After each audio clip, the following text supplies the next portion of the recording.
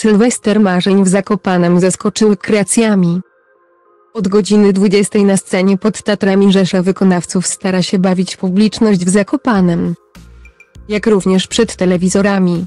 Lecą znane hity, można pośpiewać, potańczyć. Ale również popodziwiać. Piękne panie, panowie może trochę mniej się popisali. Ale było na co popatrzeć. Zresztą ocencie sami.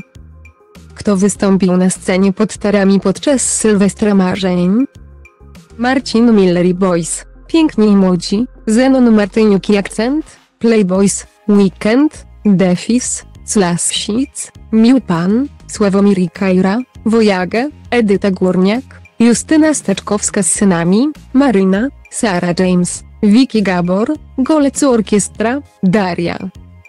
Komodo, Thomas Anders, ukraińska supergwiazda Dzidzio, Maja Chyży, Kasia Moś, Kombi Łosowski, Kubasz Majkowski, Jan Majewski, zespół Felivers, Don Wasyla, Staszek Karpiel-Błecka, Blanka oraz mega gwiazda z USA, Blacka Let Peas.